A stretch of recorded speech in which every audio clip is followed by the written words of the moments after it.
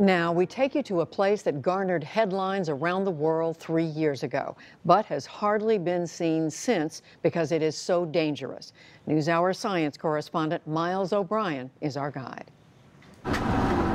Three years after the meltdowns, the road to Fukushima is still a gauntlet of roadblocks and strict security checks. And inside the exclusion zone, it remains a post apocalyptic landscape of abandoned towns, frozen in time. We were on our way to one of the most hazardous places on Earth, the Fukushima Daiichi nuclear power plant.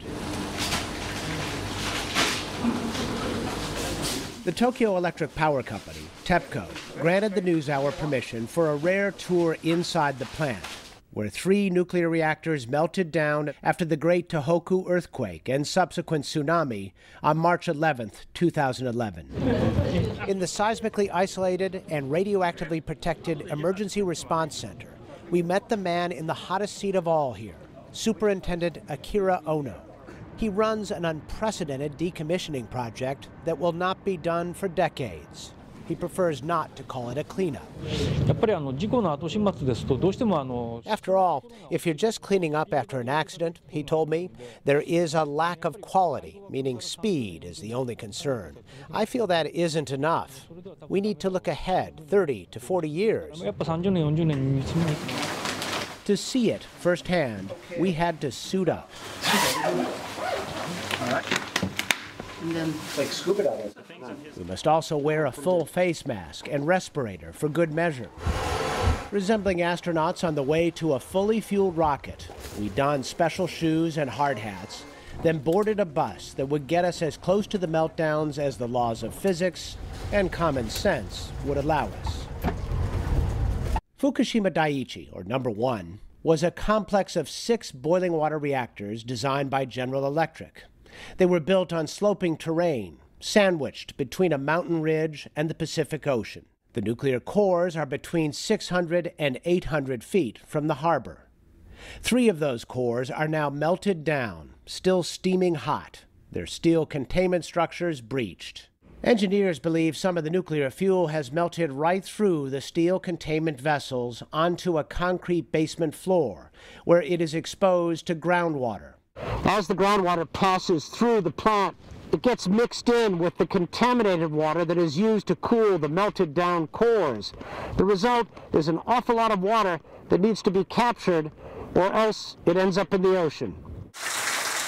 Each and every day, about 100,000 gallons of fresh groundwater seeps into the basements of the plant where it becomes contaminated with a witch's brew of radionuclides. TEPCO is furiously trying to keep pace with the water. They finish a new quarter million gallon holding tank here about every other day. But the hastily built tanks have been leaking, prompting a switch to a welded design, buttressed by gutters, dikes, trenches, and water sealing. Regardless, no one disputes the plant is steadily leaking radiation tainted water into the sea. When you go out to the open ocean, there is very little contamination found, says Superintendent Ono. Basically, the contamination is limited to the port. At the port, they are bolstering the last line of defense. This water shielding wall should be complete in September. Behind it is a system that injects a chemical into the ground that turns water into a viscous gel, stemming the flow to the sea. The company is also testing an idea to bury cooling pipes near the melted reactors to freeze the ground, making impermeable ice plugs and walls that would keep the clean and contaminated water apart. But all of this is clearly not sustainable. In about three years, they will run out of space for new water holding tanks. Then what? Masayuki Ono, no relation to the superintendent, is general manager of TEPCO's nuclear power division. タンクを作ることによって受け入れの余裕を増やしていくと。We can't solve this problem by simply increasing the number of tanks, he told me. We need to solve the fundamental issue of underground water coming in. And TEPCO is also investing a lot in this sophisticated radiation water filtering technology. In trial runs, the Advanced Liquid Processing System, ALPS, has cleaned up 12.5 million gallons of water. ALPS removes cesium, strontium, and 60 other radioactive nuclides, but not tritium. There is no practical way to filter out this isotope of hydrogen. 科学的なプロセスによって取り除くということは困難ですが It is hard to remove tritium with scientific methods, he says, but given its biological properties, it is a radioactive substance with a very limited risk. リスクの低い Nuclear engineer Lake Barrett worked for the U.S. Nuclear Regulatory Commission at Three Mile Island in the wake of the meltdown there in 1979. He is now a special advisor to TEPCO's president. When you combine all the water on the site with the tritium, the tritium levels would be so low at Fukushima that they would meet the international drinking water standards.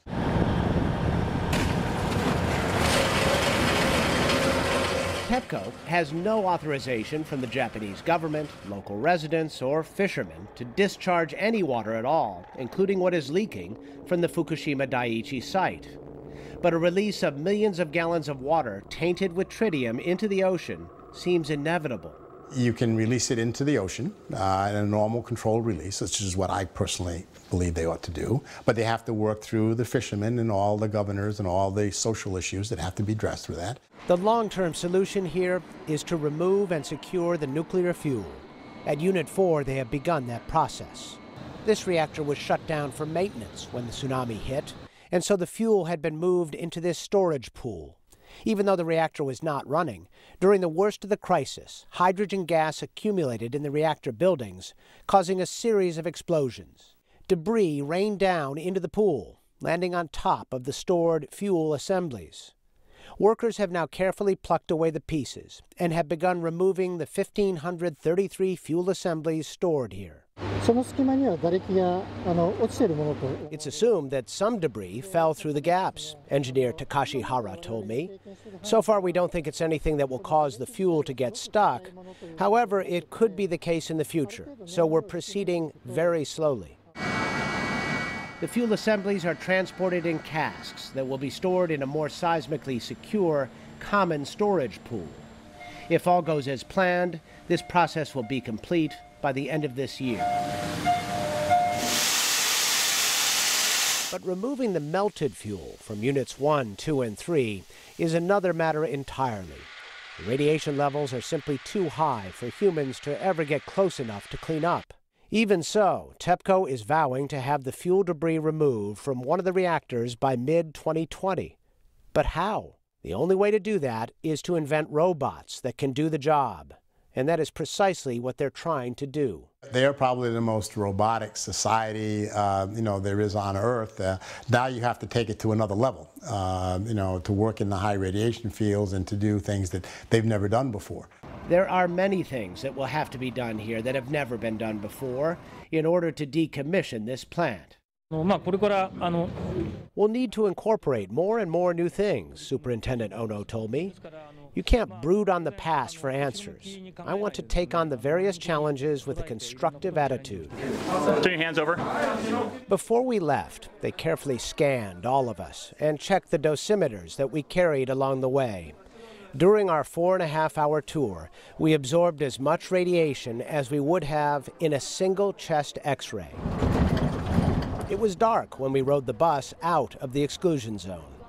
It was a quiet ride as we all processed the magnitude of the mess. Three years after the meltdowns, the crisis has not ended here. In some ways, it's still unfolding. Next Wednesday, Miles will have a report on the Fukushima meltdown's effect on fish in the surrounding waters. And we want to note these stories were produced before Miles' trip to the Philippines, where an accident led to the loss of his left arm. As we said earlier this week, we, his NewsHour colleagues, are in awe of his courage. There's more information about what happened and